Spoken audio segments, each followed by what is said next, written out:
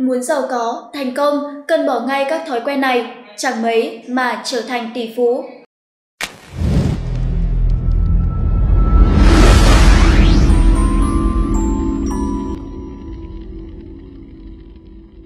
Xin chào quý vị, chào mừng quý vị đã quay trở lại với kênh Phong thủy Sa Cát, kênh thông tin hữu ích chuyên chia sẻ và truyền tải các kiến thức về tử vi, phong thủy và đời sống tâm linh. Đặc biệt, được hướng dẫn và tư vấn bởi thầy Sa Cát, một trong những bậc thầy về phong thủy nổi tiếng tại Việt Nam. Trong cuộc sống bình thường có rất nhiều chuyện bé tưởng chừng như hạt cát, nhưng kỳ thực lại ẩn chứa nhiều bí mật liên quan mật thiết đến phong thủy tài lộc. Chẳng thế mà có những sự việc tuy rất nhỏ nhưng có thể khiến cho bạn gặp phải rắc rối lớn trong cuộc sống. Cuộc sống thoải mái, an bình hay không là do chính những thói quen hàng ngày của bạn quyết định.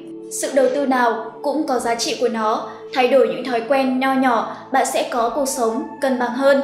Bởi sự khác biệt lớn nhất giữa người giàu và người nghèo nằm chính ở thói quen trong cuộc sống. Những thói quen xấu cố hữu của người nghèo khiến cho họ mắc kẹt với tình trạng nghèo túng và rất khó để có thể thoát nghèo thành công. Về những thói quen xấu nào có thể ảnh hưởng trực tiếp đến với vận trình của chúng ta? Kênh Phong thủy Sa Cát kính mời quý vị và các bạn sẽ cùng tìm hiểu ngay bây giờ. Trước khi nghe kênh Phong thủy Sa Cát chia sẻ tiếp thông tin thì quý vị đừng quên bấm like, đăng ký kênh và nhấn vào tín hiệu chuông để nhận được những thông báo mới nhất của kênh và có thể biết thêm nhiều thông tin hữu ích. một Quần áo quá nhiều túi Ngày xưa các cụ làm quần áo rất chú ý đến túi áo, túi quần. Thường thì trang phục xưa, túi được các cụ may kín đáo bên mặt trong, cũng không làm quá nhiều túi trên một bộ đồ. Nhưng thời gian thay đổi, càng ngày càng có nhiều bộ trang phục kỳ quái được ra đời. Điển hình của lỗi phong thủy trong trang phục ngày nay đó là có những bộ đồ với quá nhiều túi áo, túi quần. Thậm chí có những bộ quần áo mà trên dưới đếm được đến chục cái túi. Có những bộ đồ mà túi xuất hiện cả ở vị trí dưới đầu gối. Nhiều người còn dùng những túi đó để đựng tiền. Song theo quan điểm phong thủy thì mặc đồ quá nhiều túi cũng giống như có nhiều lỗ hổng, tiền bạc dễ theo đó mà thất thoát thay vì tích tài tụ lộc. 2. Không cầm tiền thừa thối lại. Đây là thói quen của nhiều người khi mua đồ hay trả tiền mà thừa vài đồng tiền lẻ là sẽ không lấy lại, coi đó là tiền bo luôn. Mặc dù làm vậy là rộng lượng, đẹp lòng người khác, nhưng vô tình lại phạm phải lỗi phong thủy khi mà khiến cho tài lộc đang từ túi mình chảy sang túi người khác. Dòng chảy tiền bạc cũng đổi hướng theo. 3. Rung chân, rung đùi Không ít người hễ ngồi một chỗ là lại có thói quen rung chân. Chẳng cần phải xét đến phong thủy thì đây cũng là thói quen xấu mà bạn nên bỏ ngay lập tức. Theo phong thủy tài lộc thì dù là nam hay nữ Việc rung đùi, rung chân cũng sẽ khiến tài lộc bỏ đi mất, khó có mệnh đại phú, đại quý. Cho dù có tiền đi chăng nữa thì tài khí cũng khó bề tích tụ. Đặc biệt, với nữ giới thì thói quen này còn ảnh hưởng đến đường tình duyên, khiến cho chuyện tình cảm của các cô gái sẽ gặp phải vấn đề. 4. Giặt kèm áo 4. Giặt quần áo, không kiểm tra các túi. Chắc hẳn chúng ta ai cũng đã từng phơi hết đồ trong máy giặt thì thấy tiền nằm nhào nhĩ ở dưới đáy lồng giặt. Nói một cách lạc quan thì lại bắt được tiền của chính mình. Nhưng đúng ra thì đây là điều chẳng tốt chút nào. Trước khi bỏ đồ vào máy giặt, bạn nhớ phải kiểm tra các túi, lấy hết những thứ linh tinh mà đặc biệt là tiền càng phải lấy ra ngoài. Nếu không làm thế mà cứ để tiền bị đảo giật liên hồi trong máy giặt thì tài vận của bạn cũng sẽ giặt cho bằng sạch. 5. Tùy ý sờ mũi trong nhân tướng học, mũi là bộ phận tượng trưng cho tài khố. Còn theo phong thủy thì nếu ai hay đưa tay sờ mũi thì đó là thói quen xấu, bởi người này sẽ bị lộ tài, thoát tài, cũng có thể gặp phải vấn đề về tình cảm, bị đối phương xem nhẹ tình cảm của mình. 6. Hay cắn móng tay Nhiều người có thói quen cắn móng tay, theo tâm lý học thì đó là vì họ dễ căng thẳng, lo lắng, thiếu cảm giác an toàn nên dồn hết vào việc cắn móng tay. Những người có thói quen này cũng rất đa nghi, hiếu khi tin tưởng vào người khác, có chuyện gì cũng giấu trong lòng. Theo phong thủy thì thói quen này còn dẫn đến việc tài lộc dễ bị tiêu tán, tình duyên gặp cản trở. 7. Ném tiền giữa đám đông Chuyên gia phong thủy cho rằng hành động này của bạn sẽ khiến cho bạn dễ gặp phải họa lộ tài, phá tài, đem vận may của mình chia cho người khác. Tiền bạc không dễ kiếm, hôm nay ném tiền qua cửa sổ thì ngày mai sẽ phải lê lết nhặt từng đồng.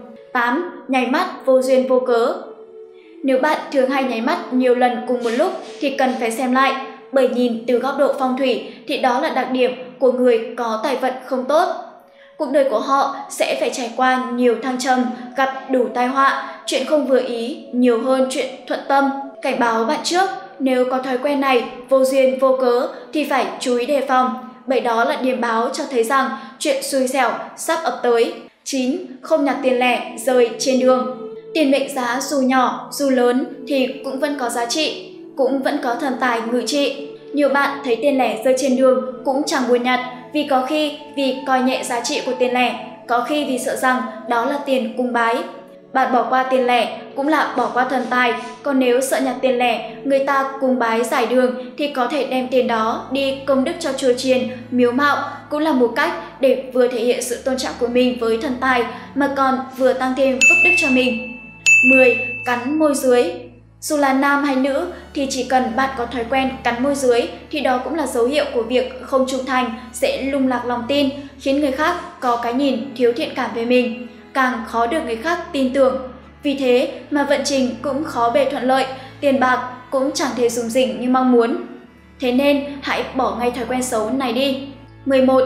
Nhón bước chân dáng đi đẹp chẳng những tạo cho bạn hình thái đẹp mà còn giúp cho đường tài vận hanh thông. Nhiều người đi chân nhón gót chỉ dùng phần đầu mũi chân mà không dùng lực ở gót chân thì theo nhân tướng học là hung tướng.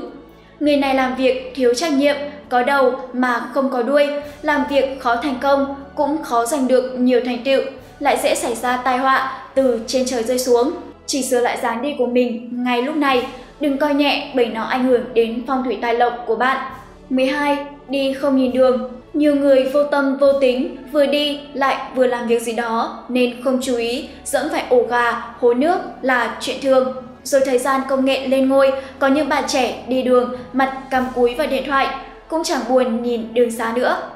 Vô hình chung, thói quen này sẽ khiến cho bạn gặp phải nhiều chuyện xui xẻo, cũng từ đó mà trường khí xấu cứ thế đi theo, vận may trên người có được cũng bị nhiễm bẩn, kém phần may mắn hơn bình thường. 13. Ăn cơm ở ban công Nếu bên ngoài ban công nhà bạn phong cảnh đẹp hay do trong nhà không có không gian mà bày bàn ăn ra ngoài ban công thì nên thận trọng, cân nhắc lại. Có thể bạn chưa biết, nhưng nếu ăn uống ngoài ban công sẽ khiến bạn dễ vướng phải họa phá tài, tiền bạc trong nhà cứ thế mà kéo nhau đi mất. 14. Để quần áo trong nhà vệ sinh Quần áo bẩn không mặc nữa thì không nói làm gì, nhưng nhiều người hay tiện tay để đồ mặc dở sau khi thay xong trong nhà vệ sinh mà không biết rằng nhà vệ sinh là nơi uế khí nhiều mà cát khí ít. Quần áo mặc dở treo trên đó nhiễm phải uế khí, hôm sau bạn lại mặc lên người thì đừng trách tại sao chuyện may mắn chẳng thấy đâu mà còn dễ hao tài, tốn lộc, sức khỏe cũng không được tốt như mong muốn. 15. Dùng ảnh chân dung làm hình nền. Nhiều bạn có thói quen để ảnh selfie của mình hay người yêu, thần tượng làm hình nền điện thoại để lúc nào cũng có thể nhìn thấy. Có điều, theo phong thủy thì đây là thói quen không tốt. Đó là do khi có báo thức hay điện thoại tới, hình nền điện thoại bị che đi, cũng giống như trường khí của người trên bị ảnh hưởng hỗn loạn. Vì thế, tốt nhất là không để ảnh người thân làm hình nền trên máy điện thoại. 16. Tùy tiện đặt đũa Nét ăn thể hiện vận khí con người, như nhiều bạn không biết mà chú ý, để cả chuyện đặt đũa trên bàn ăn cũng tùy tiện, chẳng chút lưu tâm. Đũa đặt cái ngắn, cái dài, xiên dẹo nghiêng ngả, tự như vận trình nhiều thăng trầm, kém ổn định. Thử hỏi với vận trình bất ổn như vậy thì phong thủy tài lộc liệu có tốt được hay không? 17. Khoe ảnh đồ ăn Giờ là thời đại công nghệ lên ngôi, người ta đi ăn lắm lúc, cũng chẳng quá tập trung vào việc thưởng thức đồ ăn nữa mà việc đầu tiên phải làm chính là cúng cụ Facebook, khoe ảnh đồ ăn, ảnh mình ăn uống với bạn bè trên mạng xã hội. Có điều theo phong thủy, đó không đơn giản là chia sẻ niềm vui của mình mà còn vô hình chung đem phúc lộc của mình phân chia cho nhiều người khác, tài lộc tiêu tán, khó bề tích tụ, vận khí của bản thân cũng nhiều phần suy giảm. 18. Tùy tiện bày vật phẩm phong thủy trong cuộc sống, có không ít người có thói quen mang vận cát tường trên mình, nào lại để vượng đào hoa, chiêu tài lộc, còn chuyện bày vật phẩm phong thủy trong nhà thì càng chẳng phải bàn, đủ loại, đủ kiểu luôn. Có điều, người am hiểu thì ít mà người chạy theo phong trào thì nhiều. Đồ phong thủy mà tiện đâu đặt đấy, chẳng chút kiên kỵ. Bàn ăn, bàn uống nước, rồi cả bệ cửa sổ cũng bày đồ, chẳng hề hay biết có tốt hay không. Cuối cùng, lợi bất cập hại, phong thủy tài lộc đâu chẳng thấy, chỉ thấy phá tài, hao của vì phạm kỵ là nhiều. 19. Trồng cây lung tung Thành phố chẳng có nhiều cây xanh, mà ai chẳng thích trong nhà mình có nhiều cây cối thanh lọc không khí. Có điều, trồng cây cũng phải có quy tắc. Nếu bạn cứ thích trồng đâu là trồng, đặt đâu là đặt, cây xanh mà mặt trời không chiều đến, có cây thì gia chủ quên tưới nước, lại thiếu ánh sáng, thiếu dưỡng chất nên dần dần khô héo mà chết. Đừng nghĩ rằng cứ đặt cây xanh trong nhà là vận may theo nhau đi tới. Nếu bạn không biết chăm sóc cho cây thì hậu quả còn nặng nề hơn, gây tác dụng ngược, may mắn chẳng thấy mà toàn xui rủi. 20. Dùng nước lãng phí Nước là thủy, thủy vượng tài, thế nên nước là thứ vô cùng đáng quý. Song nhiều bạn không chú ý đến điều này nên chẳng hề trân quý nguồn nước mình đang có. Chai nước đang uống được nửa cũng bỏ đi, nước rửa tay, rửa mặt, xả thoải mái, chẳng lo nước chảy tràn đi hay bị vứt đi cũng là tài lộc, đang chảy đi không dứt. Người ta mong tài lộc chảy vào nhà, còn bạn làm vậy chẳng khác gì để tài lộc chạy đi. 21. Ký tên lên tiền Chẳng hiểu vì sao có người có thói quen ký tên lên tiền, thậm chí còn viết hẳn tên mình hay tên công ty lên tờ tiền đang nằm trong tay. Tiền được coi là thứ thuộc sở hữu cấp quốc gia, dù đang nằm trong tay bạn, nhưng cũng do kho bạc, nhà nước phát hành, người đó chuyển từ tay người này sang người khác. Bạn ký tên lên tiền thì vô tình khiến cho tiền bạc vốn của mình bị chuyển sang cho người khác cũng không chừng. Bỏ ngay thói quen xấu cho phong thủy tài lộc đó đi. 22. Coi tiền như đồ thủ công Tiền có thể gấp thành muôn hình vạn trạng dưới bàn tay khéo léo của những người khéo léo. Có người thường hay gấp tiền thành hình trái tim, hình con vật xinh xắn mà tặng cho bạn bè như thủ công. Đó có thể là tiền trong nước, cũng có thể là ngoại tệ, song hành động này đều được cho là không mấy sáng suốt. Lý do là tiền của bạn nhưng lại đem đi cho người đi, rồi người ta làm gì với tiền đó cũng không biết.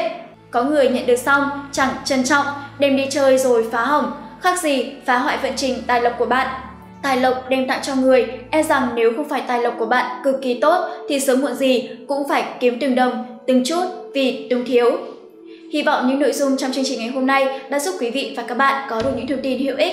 Rất cảm ơn quý vị đã quan tâm và theo dõi chương trình. Quý vị đừng quên ấn like, đăng ký kênh và nhấn vào tín hiệu chuông để không bỏ qua bất kỳ video và thông tin nào từ chúng tôi. Xin chào và hẹn gặp lại quý vị trong những chương trình lần sau.